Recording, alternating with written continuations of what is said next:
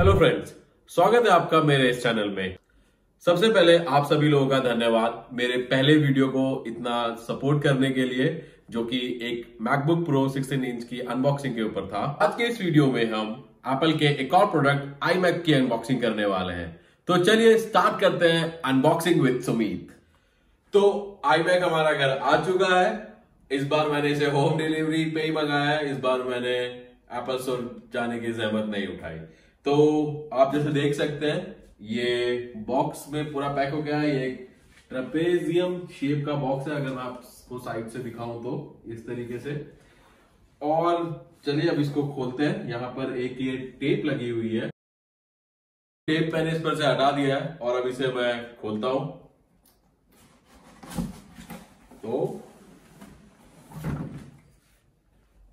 Wow ये है Apple का 2020 मॉडल 27 इंच आई मैक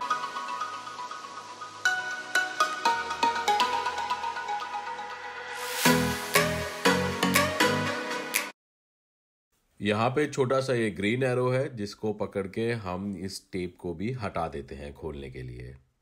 अब हम इसके, इस बॉक्स को भी अब हम खोलने वाले हैं और फाइनली आई मैक के दर्शन होंगे। इसमें ये design by Apple in California तो इस ब्लॉग इस अनबॉक्सिंग को हम थोड़ा उल्टा, थोड़ा अलग करेंगे। मैं आपको, इसके अंदर माउस और कीबोर्ड है, ये मैं आपको बाद में दिखाऊँगा। आज सबसे पहले देखते हैं मेन प्रोडक्ट को। अच्छा सीरीज़ हम बाद में अनबॉक्स करते हैं। तो अभी इसको हटाते हैं।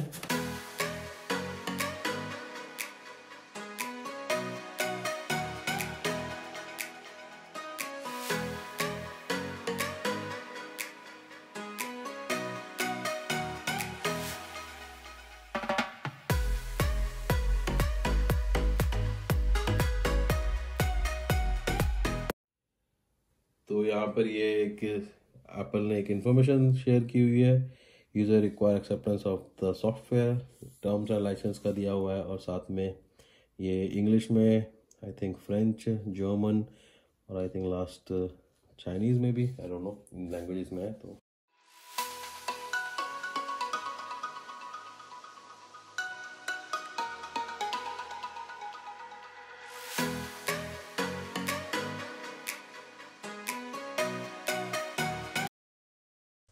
अब इसके पॉलिथीन रैपर को हम हटाते हैं। हम हिंदुस्तानियों का पॉलिथीन रैपर के साथ एक अलग ही प्रेम चलता आ रहा है। मेरे घर पे तो आज भी रिमोट जिस रैपर में पैक होके आया था, उसी में आज भी है। नीचे कमेंट सेक्शन में आप लोग भी अपने घर का एक्सपीरियंस शेयर करें। यहाँ पे पीछे आप देख सकते हैं, यहाँ पे सारे पोर्ट्स हैं। सबसे पहले यहाँ पे ये हेडफोन जैक है। उसके बाद ये यहाँ पर एस कार्ड स्लॉट है। इसके अलावा यहाँ पर ये चार U S B A port हैं और दो Thunderbolt U S B C port हैं। और लास्ट में ये हमारा टेन गीगाबिट का इथरनेट पोर्ट है। साथ ही में यहाँ पर ऊपर हीट एग्जॉस्ट के लिए विंडो दी हुई है। इसके नीचे यहाँ पे ये रैम डोर है। रैम आप यहाँ पर up to one hundred twenty eight G B तक आप इसे कॉन्फ़िगर कर सकते हैं। और साथ ही में यहाँ पे नीचे ये प्लग दिया हुआ है। आई मैक को पावर करने के लिए। और आखिरी में यहाँ पर इसे ऑन करने के लिए पावर बटन दिया हो। अब हम लोग इसको पूरा अनबॉक्स कर चुके हैं। तो इससे पहले कि मैं इसे प्लग इन करूँ और इसे स्टार्ट करूँ, पहले इसकी जो एसेसरीज है उसको देख लेते हैं। उसके बिना तो यह स्टार्ट भी नहीं होगा। सबसे पहले ये पावर केबल ये पावर केबल जो है इसकी आई थिंक ऑलमोस्ट दो मीटर लंबी है। तो चलिए अब स्टार्ट करते हैं इस एसेसरी बॉक्स को अनबॉक्स करना। जैसा कि आप देख सकते हैं यहाँ पर ये अंदर मैजिक कीबोर्ड है और साथ ही में यहाँ पर ये मैजिक माउस है। बहुत ही अच्छे से इसको रैपर में डाला हुआ है। पीछे आप देख सकते हैं यहाँ पे एप्पल का लोगो है। इसके साथ ही आपको यहाँ पे एप्पल का लोगो क्लियर दिखेगा और इसके अलावा यहाँ पर ऊपर इसे ऑन ऑफ़ करने के लिए ये एक छोटा सा बटन है। ये ऊपर बड़ा ही स्लीक डिज़ाइन है और यहाँ पर भी आपको एप्पल का लोगो इजीली विजिबल है। ये यहाँ पर मैजिक कीबोर्ड है, जैसा कि आप देख सकते हैं। और यहाँ पीछे भी एप्पल का शानदार लोगो है। और चलिए अब इसके रैपर को हटाते हैं।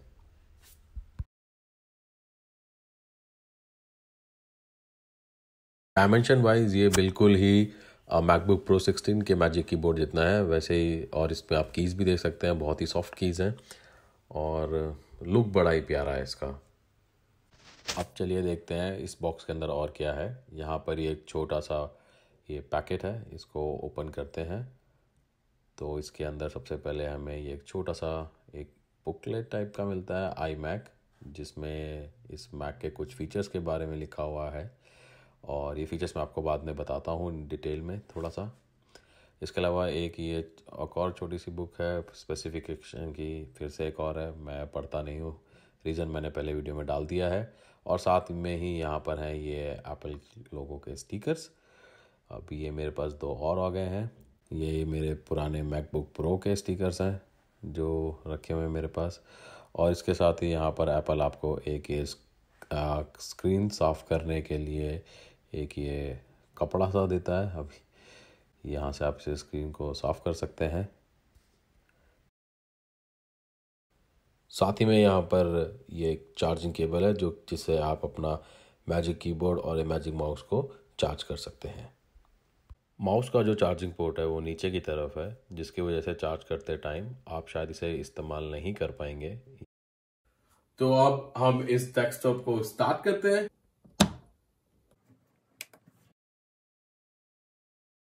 फाइनली मैंने अपना ये डेस्कटॉप यहाँ कॉन्फ़िगर कर लिया है। अब मैं आपको अपने इस आई मैक के कॉन्फ़िगरेशन के बारे में बताता हूँ। तो जो आई मैक है, ये मैंने 27 इंच आई मैक लिया है और जो इसका बेस कॉन्फ़िगरेशन है, ये मैंने 3.8 point eight giga hertz eight core processor वाला लिया है। बाद में मैंने इसको कस्टमाइज़ भी कराया है। मैंने जो इसका डिस्प्ले लिया है, वो स्टैंडर्ड ग्लास डिस्प्ले ही लिया है। इसमें एक और ऑप्शन आता है नैनो टेक्सचर ग्लास डिस्प्ले जिसमें आपको रिफ्लेक्शन बहुत ही कम दिखेगा ऑलमोस्ट नेग्लिजिबल तो इनकेस अगर आप काम करते हैं और आपके प्रॉब्लम है कि आपकी स्क्रीन पे बहुत ज़्यादा लाइट का रिफ्लेक्शन आता है, भले वो सनलाइट हो, या फिर आपके रूम में लाइट हो तो आप उस, इसके लिए नैनो टेक्सचर ग्लास को यूज़ कर सकते हैं। प्रोसेसर जो है, वो मैंने 3.6 point six giga hertz ten core I nine processor लिया है टेन जनरेशन का। ये लास्ट एप्पल का प्रोडक्ट रहेगा आई मैक में, जो कि इंटेल का प्रोसेसर यूज़ कर रहा है। इसके बाद आने वाले सभी आई मैक में आपको एप्पल सिलिकन ही मिलेगा। मैंने जो यहाँ पे रैम चूज़ की है, वो एट जी की ही रैम चूज़ की है। आई मैक के इस मॉडल में आप कस्टम रैम को भी खुद से कस्टमाइज़ कर सकते हैं। मेरे पर्सनल ओपिनियन में यहाँ पे आप रैम को खुद ही अपग्रेड करें। एक third party vendor RAM use करके क्योंकि एप्पल बहुत ही ज़्यादा चार्ज कर रहा है यहाँ पे रैम अपग्रेड्स के लिए। For example 128 twenty eight G B RAM यहाँ पे आपको ऑलमोस्ट थ्री थाउज़ेंड यूरो आपको एक्स्ट्रा पे करना पड़ेगा एप्पल को। वहीं पर अगर आप अमेज़ोन पर जाके देखेंगे तो आपको six two seven hundred euros में अच्छे, अच्छी कंपनी की रैम यहाँ पे थर्ड पार्टी की रैम यहाँ पे मिल जाएगी, जिसको आप कन्फिगर कर सकते हैं। मैं यहाँ पे रैम को खुद ही कन्फिगर करूँगा और मैं इसके लिए भी एक वीडियो बनाऊँगा दिखाने के लिए कि आप खुद से ही कैसे रैम को कॉन्फ़िगर कर सकते हैं। तो मेरे हिसाब से एप्पल को आप रैम के इतने पैसे देने से अच्छा बाकी चीज़ों पे लगाएँ, जैसे ग्राफिक्स कार्ड हो गया प्रोसेसर हो गया, या इंटरनल स्टोरेज भी हो गया। मैंने जो इसमें ग्राफिक्स कार्ड लिया है, वो मैंने यहाँ पे सिक्सटीन जी का ग्राफिक्स कार्ड लिया है रेडियन प्रो फिफ्टी सेवन का। और साथ ही साथ मैंने जो यहाँ पे हार्ड डिस्क ली है, वो मैंने यहाँ पे टू टी की एस एस हार्ड डिस्क यहाँ पे मैंने ऑप्शन चूज़ किया है।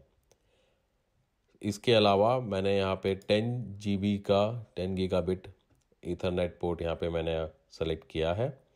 माउस और ट्रैक पैड में मैंने जो साथ में आता है बेसिक कॉन्फ़िगरेशन वही लिया है।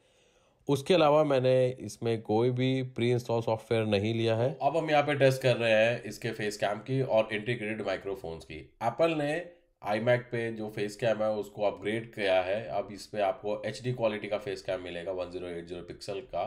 साथ ही साथ एप्पल ने यहाँ पे जो इंटीग्रेटेड माइक्रोफोन्स हैं, वो स्टूडियो क्वालिटी के यूज़ किए हैं, जो कि बहुत ही ज़्यादा very high signal to noise ratio के साथ आते हैं। तो आप खुद भी एक्सपीरियंस कर सकते हैं वीडियो क्वालिटी और मेरी ऑडियो क्वालिटी तो अब हम इसके स्पीकर चेक करते हैं।